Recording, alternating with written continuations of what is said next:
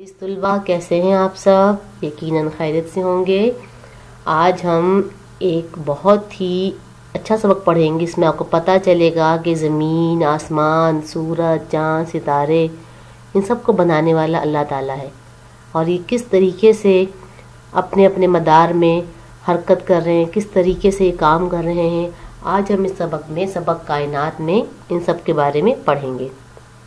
चलो आइए हम सबक की पढ़ाई करते हैं।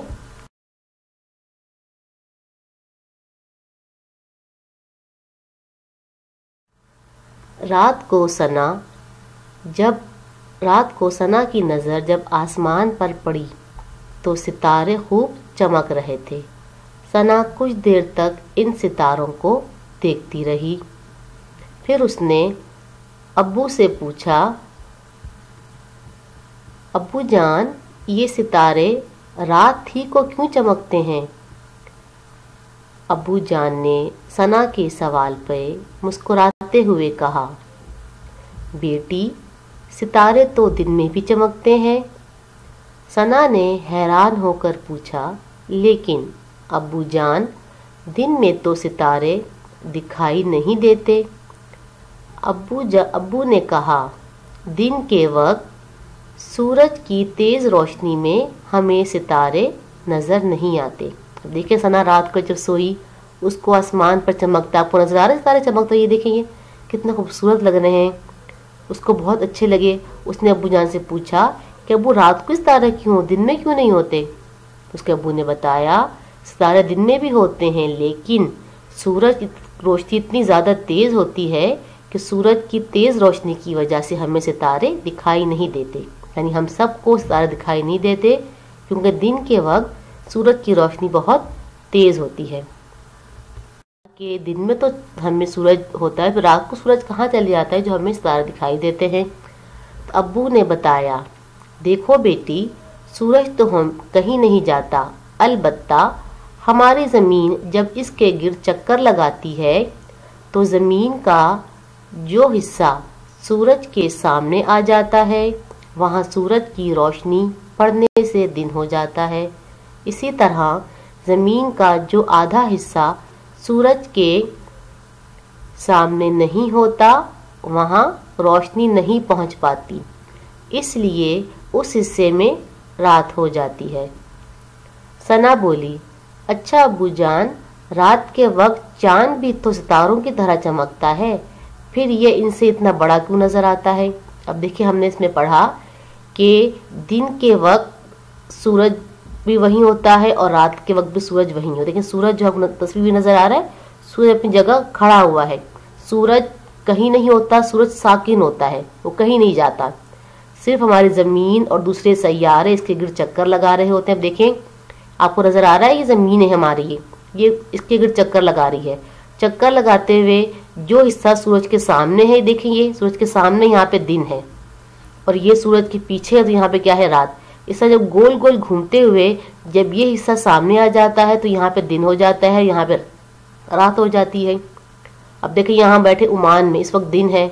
अब यूरोप में जाए, वहाँ पे रात हो तो वो इस वक्त यहाँ पर होगा, इस हिस्से में। तो जब वहाँ पे रात होगी तो यहाँ पे दिन हो जाएगा। जब यहाँ पे दिन है तो वहाँ पे रात हो। इस तरीके से जिस जैसे ज़मीन की गिर चक्कर लगा रही होती है, जो इससे सामने आ जाता है, वहाँ पे दिन हो जाता है और जो पीछे चले आता है, वहाँ पे रात हो जाती है।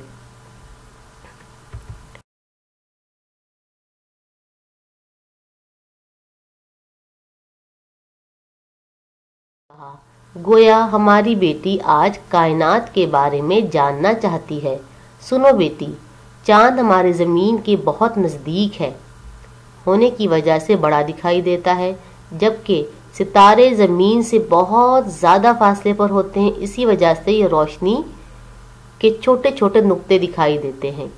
असल में सितारे चाँद से और ख़ुद हमारे ज़मीन से कई गुना बड़े होते हैं। अब देखें, ये ज़मीन है और ये मुख्तलिफ़ सितारे हैं। हर एक सितारा ज़मीन से कई गुना बड़ा है, लेकिन हमें वो छोटे इसलिए दिखाई देते हैं क्योंकि वो बहुत ज़्यादा फासले पर हैं, जबकि चाँद और ज़मीन दोनों सितारों से छोटे हैं। एक एक सितारा ज़मीन से कई गुना, हज़ारों गुना बड़ा है। तो कायनात में अरबों, खरबों सितारे मौजूद हैं। देखें, ये कायनात कितनी वसी बनाई है अल्लाह ताला ने। अब एक एक सितारा, ये ज़मीन देखिए कितनी छोटी है इसके सामने। ये सितारा एक, ये एक उससे भी बड़ा सितारा। तो मुख्तलिफ़ जो सितारे हैं, वो तमाम सितारे ज़मीन से और चाँद से, दोनों से बहुत ज़्यादा बड़े हैं। लेकिन हमें वो छोटे इसलिए दिखाई देते हैं, क्योंकि वो ज़मीन से बहुत ज़्यादा फासले पर हैं, इसलिए हमें वो छोटे छोटे नुक्ते दिखाई देते हैं। हकीकत में, सितारे जो हैं, वो ज़मीन से बहुत ज़्यादा बड़े हैं, कई गुना, हज़ार गुना बड़े हैं।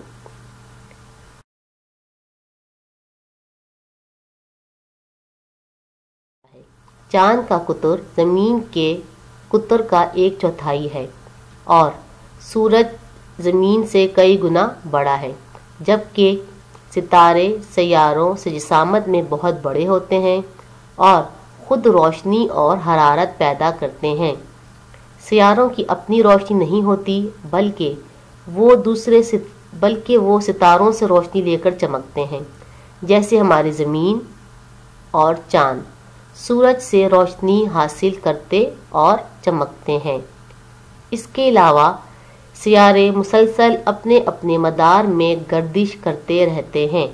हमारी ज़मीन सूरज के गिर्द अपने मदार में हर वक्त घूमती रहती है और अपना एक चक्कर तकरीबन तीन सौ पैंसठ दिनों में मुकम्मल करती है। ये एक शमसी साल कहलाता है। अब देखें कि हमारी ज़मीन भी एक सैारा है और चाँद उसका जीली सैारा है। यानी चाँद जो है वो ज़मीन का सैारा है, ज़मीन के गिर्द घूमता है। और चाँद का कुतुर ज़मीन के कुतुर का एक चौथाई, यानी चौथा हिस्सा है। सूरज ज़मीन से कई गुना बड़ा है और दूसरे जितने भी सितारे हैं, वो जिसामत में बहुत बड़े होते हैं अपनी रोशनी से चमकते हैं। जैसे सूरज भी एक सितारा है, उसकी अपनी रोशनी और जितने भी और सितारे हैं, उन सब की अपनी अपनी रोशनी है। जबकि जितने भी सयारे हैं, ज़मीन है, मरीख है, जितने भी हैं ये सब सूरज से रोशनी लेके चमकते हैं। इनकी अपनी रोशनी नहीं होती। इसके अलावा हमारी जो ज़मीन है, वो सूरज के गिर्द अपने मदार में घूम रही है और पूरा एक चक्कर वो तीन सौ पैंसठ दिनों में मुकम्मल करती है। इसको हम कहते हैं शमसी साल।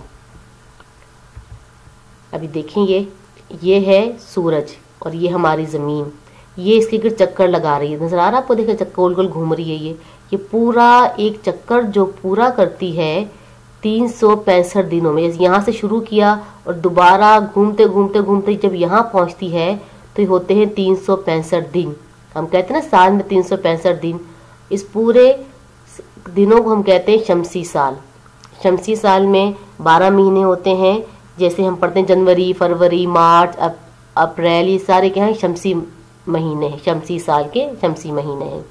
तो ये ज़मीन जो इसे चक्कर लगा रही है पूरे एक साल में तीन सौ पैंसठ दिन में अपना चक्कर ये पूरा करती है। इसी तरह चाँद भी हमारी ज़मीन के गिर चक्कर लगाता रहता है और तकरीबन उनतीस दिन में अपना एक चक्कर मुकम्मल करता है। चाँद की गर्दिश के मुताबिक 12 महीनों में एक कमरी साल मुकम्मल होता है। अब देखें, ज़मीन जो है वो सूरज के गिर चक्कर लगा रही है और जबकि चाँद जो है अब ये देखें, ये है ज़मीन और ये है चाँद। अब चाँद जो है, वो ज़मीन के चक्कर लगा रहा होता है और ये पूरा एक चक्कर उनतीस दिनों में पूरा करता है। यानी एक चक्कर जो पूरा करता है गोल गोल घूमते हुए, उसमें उनतीस दिन लगते हैं और इसे हम कहते, उसमें बारह महीने होते हैं। बारह महीने पूरे होते हैं, उन्हें कहते हैं कमरी साल। कैसे इस्लामी महीने जो हमारे होते हैं, मुहर्रम, सफ़र, रजब रबी अव्वल रबी सानी सब सब क्या है ये? इस्लामी महीने, इसे कहते हैं कमरी साल के इस्लामी महीने। वो कैसे बनते हैं? कि पूरा चक्कर पूरा करता है चाँद ज़मीन के गिर तो उनतीस दिनों बाद दोबारा से नया चाँद निकल आता है तो एक साल, एक महीना पूरा हो जाता है।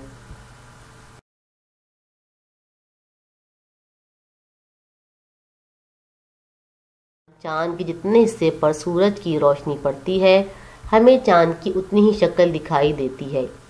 इसलिए चाँद कभी छोटा और कभी बड़ा दिखाई देता है। सना ये सब बहुत दिलचस्प, सना को ये सब बहुत दिलचस्प लग रहा था और वो बहुत गौर से अब्बू की बातें सुन रही थी। अब्बू ने मजीद बताया कि सूरज के गिर्द और भी कई सयारे और सयारचे महवे गर्दिश रहते हैं।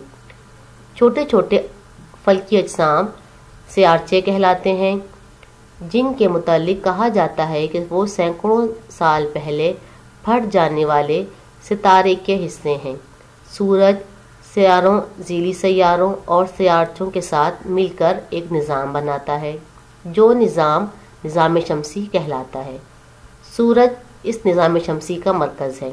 अब देखें, अब चाँद जो है वो किस तरीके छोटा बड़ा होता है? अब चाँद जो है वो सूरज से रोशनी लेके चमकता है। अब जो हिस्सा चाँद सूरज के सामने होता है, वो हमें दिखाई देता है।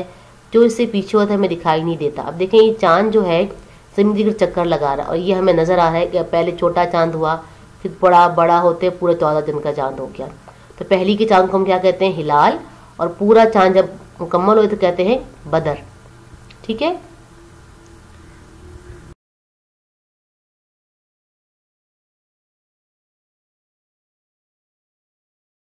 मौजूद हैं। अरबों, खरबों, सितारों से मिलकर एक कहकशां बनती है। इस कायनात में करोड़ों अरबों कहकशाएँ हैं जो हमारी नज़र से ओझल हैं। सना ये सुनकर, सना ने सुनकर कहा, अब्बू, अल्लाह ताला ने ये कायनात बहुत वसी बनाई है। अब्बू ने खुश होकर कहा, बिल्कुल बेटी, इसी से हमें अल्लाह ताला की कुदरत का अंदाज़ा होता है। देखें, एक कहकशां है।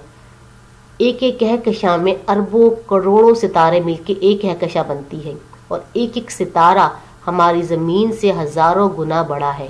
अब कितने सितारे कायनात में मौजूद हैं? यानी अल्लाह ताला की कुदरत देखें कि अल्लाह ताला कितनी बड़ी कायनात को चला रहा है। हम तो एक ज़मीन पे बैठे हुए हैं और कितनी सियारे, कितने सितारे इस कायनात में हैं जिनको अल्लाह ताला अपने हुक्म से चला रहा है। तो इससे हमें अल्लाह ताला की कुदरत का अंदाज़ा होता है कि अल्लाह ताला कितना अजीम है। यकीनन आपको अब सबक अच्छी तरह समझ आ गया होगा। आपने सबक की पढ़ाई करनी है। अच्छी तरीके से अल्लाह हाफिज़।